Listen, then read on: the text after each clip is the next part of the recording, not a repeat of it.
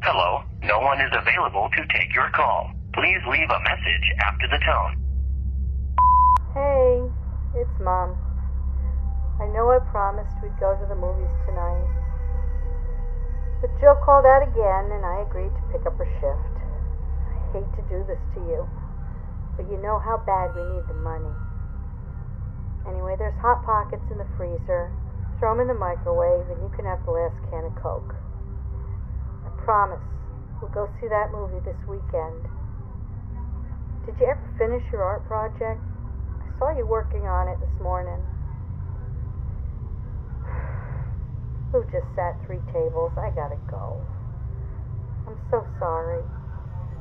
Could you just call me when you get this so I know you're okay? I'm really worried.